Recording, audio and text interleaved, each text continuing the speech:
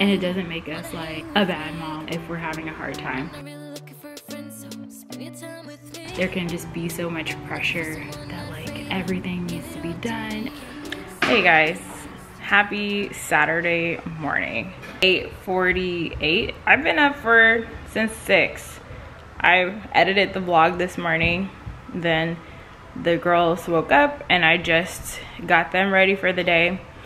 I'm about to go do the same for myself. I turned on that Cocomelon. Not my proudest moment, but I gotta do what I gotta do. I'm solo momming this weekend and I can't wait for anybody to give me a break to take a shower. So I'm giving myself one.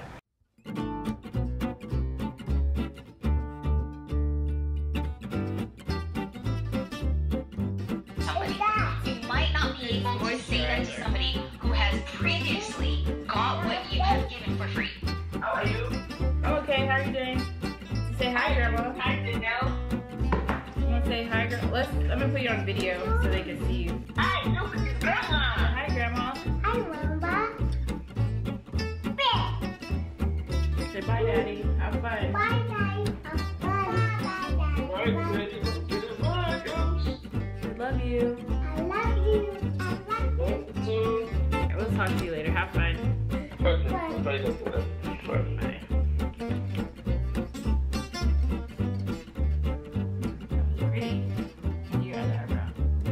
This weekend I will be solo momming it. My husband had to travel to go to a wedding and um, we are at home, me and the kids.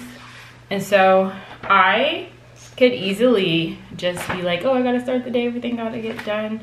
But I have chosen to not do that and to take a moment to get myself ready and to get some self-care in. Oh my gosh, I keep forgetting to do this first. Yeah, I just, I wanted to make sure that I felt energized and in a good place. And I know that getting myself ready in the morning highly, highly contributes to how I feel. If I walk around feeling like a frump, looking like a frump, I'm gonna feel like one. That is not to say that I don't have my frump days. I do, but I feel like with me solo momming it, knowing the energy that is going to be required. I, I need all the energy that I can get, both physically and emotionally. So I felt like this is something that I can do to contribute to my just overall well-being this week. My goal for this weekend is going to be a combination of trying to rejuvenate and get ready for next week. I feel like my weekends play a huge role in the productivity and energy levels I have during the week. So I try to make sure during the weekend that I'm not overdoing it. Like I have to have some downtime. You know? I have to have time to unplug you know, and recharge. It's so important to me. And so at the same time though, we got to get ready for next week, you know? Oh. We got to get some things in place so that I will not be scrambling. So my goal of this weekend is to try to get those things done, but then also try to make sure that I am taking care of myself and I'm ready for next week. There's a monkey. One of the biggest tasks that I need to get accomplished over the weekend is making sure that the girls' hair is done. This process can take hours. Right now, I'm just taking down their hair, and then after this, I'll be washing their hair, and then I will be putting their hair into a new style that they can wear for the next one, possibly two weeks brother's gonna come get you. Brother's coming. coming?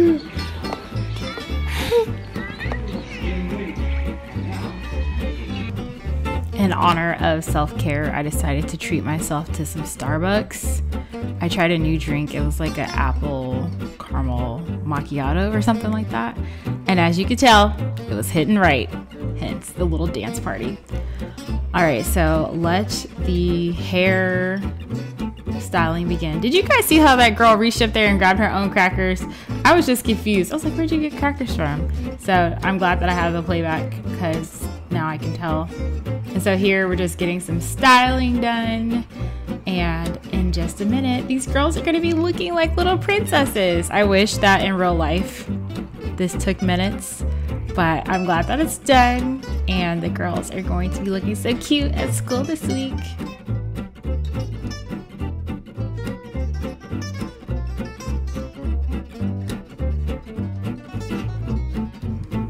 All right, so time for round two. Just in case you guys couldn't tell, these are twins.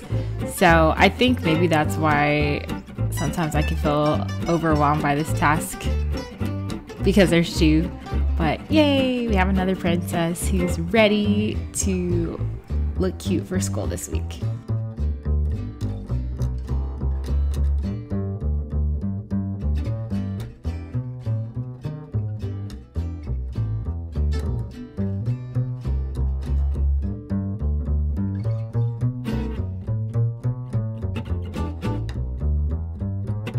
Guys, so let's have some bonnet conversations. I think there's somebody out there named Bonnet Chronicles. I'm not trying to like steal her name or anything, but you know, the bonnet.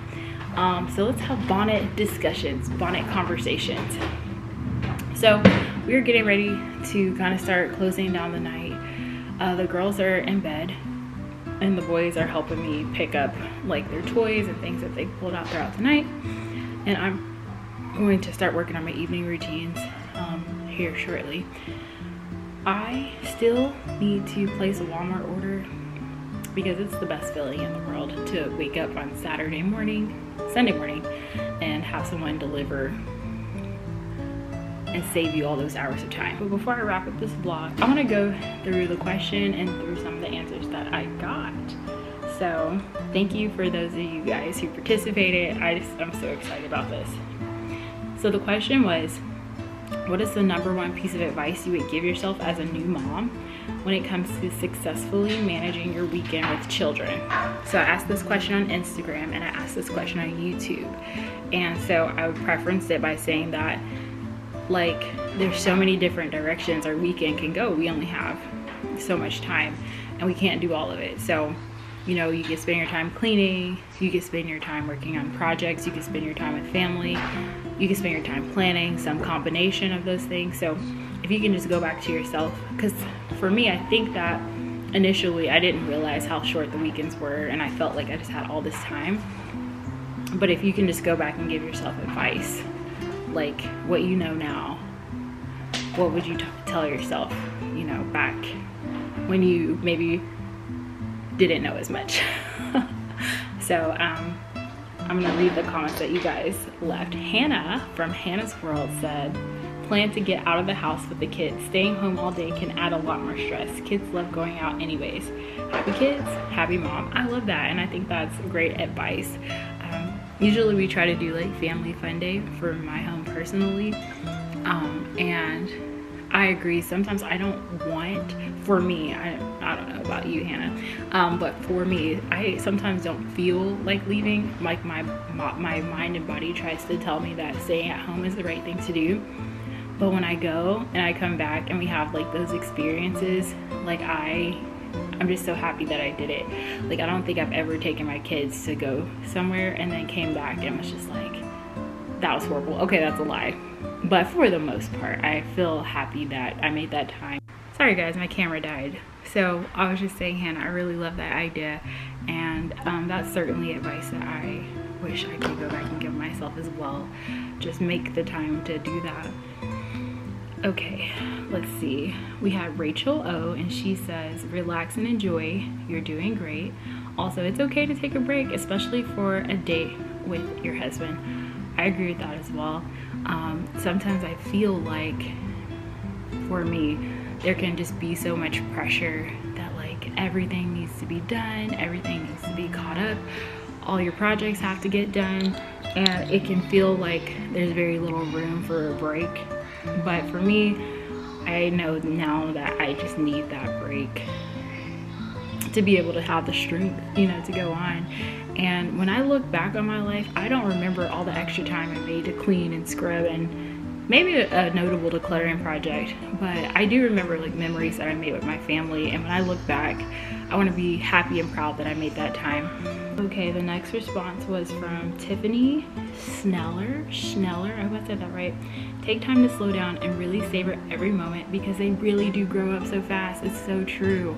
Like, um, sometimes I'm just like in disbelief for me personally that I'm like a mom of four, that I'm about to have a child who's gonna be in the double digits. Like, I literally just remember holding him you know like as a baby. Like he was like barely taking up any space on my shoulder. And so it really does. Somebody said that the days are slow but the years wait it's the other way. The days are fast. No. The days are the days are long but the years are fast or years go by fast. So i think it just is like trying to help you remember that i know that it seems like this day is so long. They're like tipper tangerine and freaking out and really giving you a hard time and I know you're tired but this time this season really goes by fast. And so don't let the day deceive you into thinking that you have all this time to cherish you know with your kids. It goes by really fast. And so I love that and um, definitely advice that I wish I would have known earlier as well and then Danielle Wilson says, it's hard for everyone, not just you. I like that, Danielle. Um, and that's something that I would like to remember for myself as well because it's so easy to kind of like zoom in on your life, right? And, um, and to like forget to like zoom out and see the big picture. Sometimes I think that social media tries to or absolutely contributes to this because on social media typically people put like their best foot forward you know these curated beautiful images that they had to like prepare for. When you see that over and over again it can start to make you feel like you're like the odd man out like everybody has it together. And i don't and so i love you know just remembering that. I think the most of us for the most part i think that most people are trying to figure it out. Most people are trying to find their way. And um, i think that we just have to remember that it's it's okay. And it's normal you know? And um, and it doesn't make us like a bad mom if we're having a hard time think the great majority of us are, and we are all in this together. And she said, Danielle also said, oh, and put the baby in the crib. My first fell asleep in the swing that first night home, and forever afterward needed motion to fall asleep. We were driving him around at bedtime, well into toddlerhood. That is so funny. that is so cute. It's so funny. So there you go, guys. If you are uh, expecting and thinking about putting that baby in the swing, Danielle has provided a cautionary tale that you might want to take into consideration, um, you know, if that is what you are thinking about doing. So this was really fun, you guys, and I really like chatting with you guys. Let me go over to Instagram. I left the same message on Insta. All right, so it looks like I don't have anything on Instagram. It's cool. I still love you guys on Instagram as well, but um, I'm gonna try to post a few more of these. I thought this was really fun. I want to also give a shout out to Crystal. Hey girl, hey. Um, I saw your comment about wanting to start wrapping your gifts. So I totally encourage it. Um, it feels like a pain in the butt. Actually, no, it doesn't. You know, if you set you up a good little wrapping station, my wrapping station is so messy. It's not ideal. I just, in my office, I have everything laid out so that I don't have to be looking for anything. That makes it so much easier and it feels so much do more doable to just be like, you know what, I'm just gonna wrap this my present and go make it like a daily thing. And so um, I totally am rooting for you and let me know how your wrapping goes. And thank you, Crystal, for the birthday wishes. Also, Jennifer Stuckless, thank you so much for the birthday wishes as well. So those are the ladies who commented on my last video. Thank you guys so much for the report. Report. Thank you guys so much for the support.